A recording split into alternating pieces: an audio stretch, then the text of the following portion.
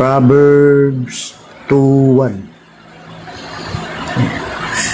My son, if you will receive my words and hide my commandments with you,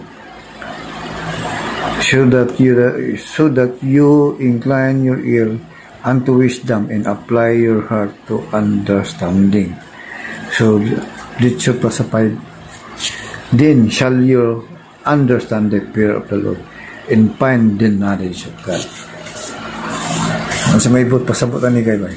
Yung siya nga yung siya nga anak address ni sa mga anak.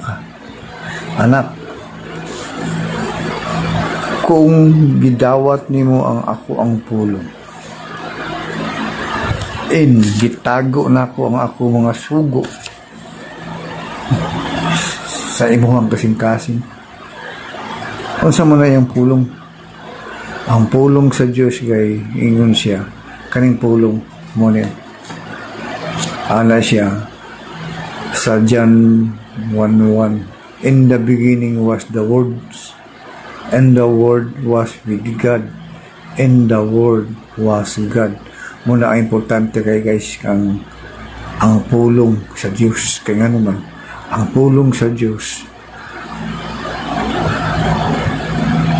eternal o ang Diyos, ang ang pulong sa Diyos Diyos mismo muna siya kung magtamod ka ani niya ingon siya pa din shall, shall you understand the fear of the Lord.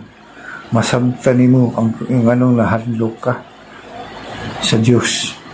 Makasabot ka. And find the knowledge of God.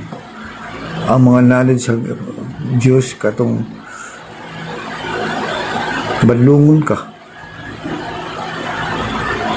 I-rebuke ka para ka matarong.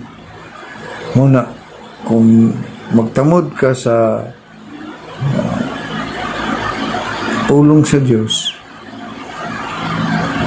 safety ang imong kinabuhi. O mga safety imong kinabuhi kung naa kay Diyos ayun